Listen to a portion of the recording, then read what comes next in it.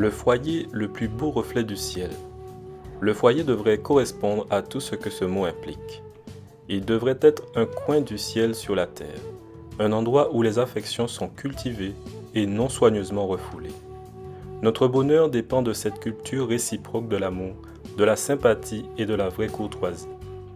La plus belle illustration du ciel est un foyer dirigé par l'Esprit du Seigneur. Lorsque la volonté de Dieu s'accomplira, le mari et la femme auront du respect l'un pour l'autre et cultiveront l'amour et la confiance.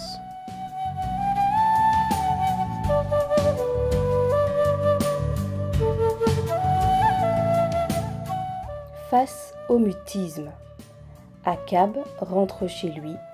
Il est de mauvaise humeur et triste parce que Naboth lui a dit Je ne te donnerai pas la vigne que j'ai reçue de mes ancêtres. Il se couche sur son lit, il tourne la tête contre le mur et ne veut rien manger. Un roi 21, verset 4. Michel a annoncé à son mari Patrick qu'elle voulait aller passer un week-end à la plage avec ses collègues. Patrick réagit par le silence. Pas d'explosion, pas d'éclat de voix, pas de dispute, absolument rien, sinon le silence. Lorsque Michel alla trouver son conseiller conjugal, Patrick était muet depuis quatre jours. Alors, son conseiller a énoncé trois hypothèses. La première, ce n'était pas la première fois que Patrick lui faisait le coup du silence. La deuxième, Patrick était très mécontent de cette idée qu'avait Michel d'aller à la plage avec ses amis. Et la dernière et troisième, Michel ne répondait pas aux besoins affectifs de Patrick. Le conseiller conjugal avait vu juste sur ces points. Si vous voulez vivre une union équilibrée, il ne faut pas vous retrancher dans le silence si vous êtes le partenaire qui fait la tête, vous devez comprendre que vous sabotez votre mariage. Rester dans le silence, c'est peut-être mieux que de crier sur l'autre, mais comme solution à long terme, c'est inopérant. Dans la Bible, il y a un exemple haut en couleur, il s'agit d'Akab, un roi d'Israël, de sinistre réputation, Lorsque certain Naboth refuse de lui vendre sa vie, vigne, Akab rentre chez lui et s'allonge sur son lit face au mur. Une réaction pour le moins stérile.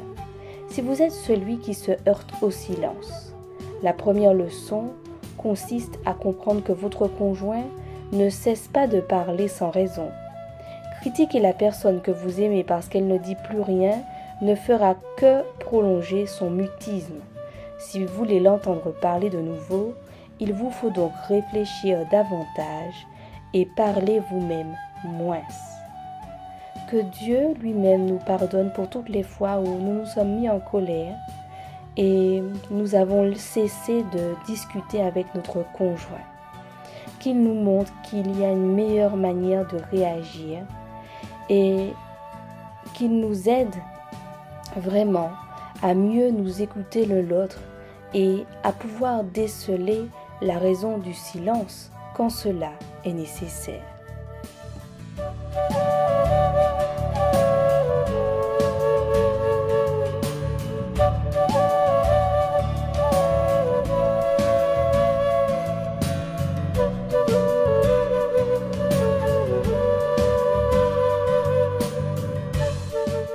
Marie, aimez vos femmes, comme Christ a aimé l'Église, et s'est livré lui-même pour elle, afin de la sanctifier par la parole, après l'avoir purifiée par le baptême d'eau, afin de faire paraître devant lui cette Église glorieuse, sans tache, ni ride, ni rien de semblable, mais sainte et irrépréhensible.